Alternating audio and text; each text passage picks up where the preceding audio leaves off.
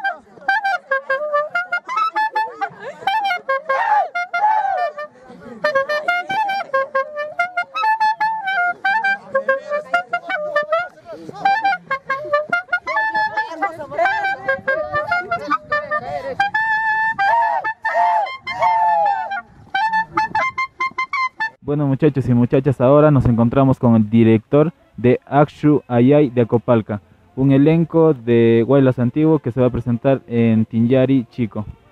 Este, amigo, eh, ¿me puede decir su nombre y qué función usted está cumpliendo actualmente en el elenco?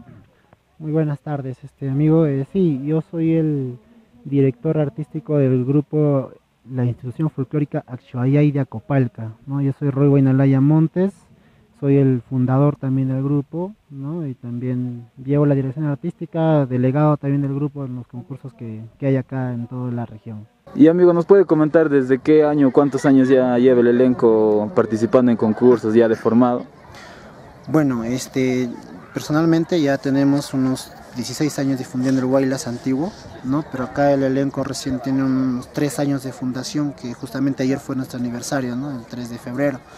Ah, bueno, son tres años que ya, en estos pocos tres años, gracias a Dios hemos tenido buenos logros, ¿no? Ganar, por ejemplo, en, el distrito de Pasos, ¿no? Provincia de Tayacaja, en Huancavelica.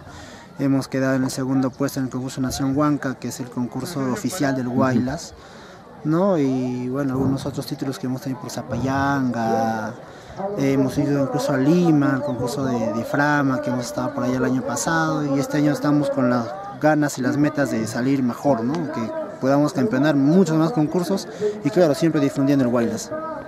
Genial, eh, me parece muy chévere la labor que están llevando a cabo. Eh, ¿Me podría comentar qué, eh, qué requisitos tiene que tener un bailarín aspirante a, al Guaylas antiguo o simplemente las ganas?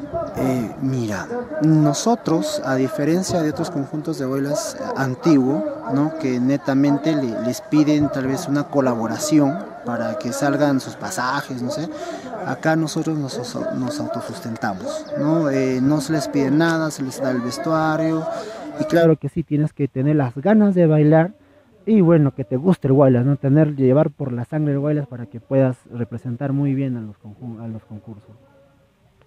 Genial. Este, para terminar, ¿nos podrías decir por qué Guaylas antiguo y por qué no moderno? Personalmente. Mira, eh, yo inicié bailando Guaylas antiguo, ¿no? Eh, siempre me ha gustado el Guaylas antiguo, hemos estado en los concursos y aparte que es más sentimiento el Guaylas antiguo.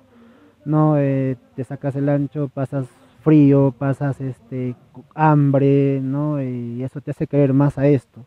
Eh, a comparación de vuelas modernos que tienen padrinos por acá, por allá, y pues, es prácticamente pasan una fiesta, ¿no? Nosotros en cambio vamos a bailar a los pueblos, a representar, estamos en eso y más que nada es por eso, ¿no? Porque eh, iniciamos bailando bailas antiguos y pues queremos defenderlo como de Costa el bailas antiguo.